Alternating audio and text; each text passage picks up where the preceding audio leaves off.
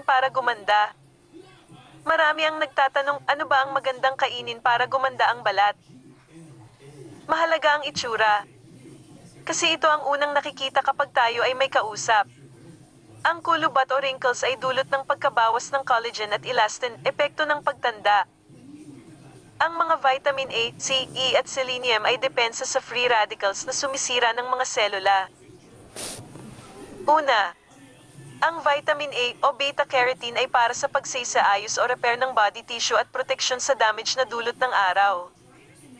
Ang mga pagkaing mayaman sa vitamin A o beta-carotene ay kamote, carrots, kalabasa, kamatis, bayabas, letsugas, mangga, at kangkong. Pangalawa, ang vitamin C ay tumutulong sa paggawa ng collagen at proteksyon sa free radicals. Mayaman sa vitamin C ang bayabas, mangga, kalamansi, dalandan, sili, melon, strawberry, okra, pinya, papaya, at pakwan. Pangatlo, ang vitamin E ay proteksyon ng cell membrane. Taglay ito ng abokado, mani, red bell pepper, mangga, papaya, broccoli at tomato paste. Pang-apat, kailangan ng selenium para sa posibleng proteksyon sa pinsala ng araw. May selenium ang talaba, tilapia, laman ng baka, hipon, brown rice, pitso ng manok, itlog, kabute, delatang tuna. Panglima, kailangan ng zinc para mapanatili ang collagen at maiwasan ang pamumula, pagbabalat, pagkakaroon ng nana o impeksyon sa balat. Kumain ng talaba, baka, tenderloin o laman ng baboy, peanut butter, kasoy, mani, walnuts at green peas. Pang-anim, ang omega-3 fatty acids ay proteksyon sa pinsala ng araw. Ang mga pagkaing mayaman sa omega-3 ay sardines, dilis, tawilis, hasa-hasa,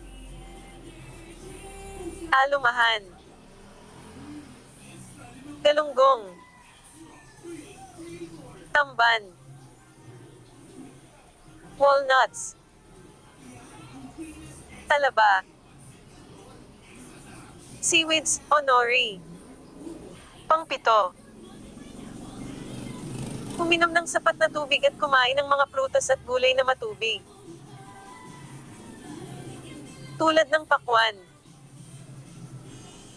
papaya, pinya,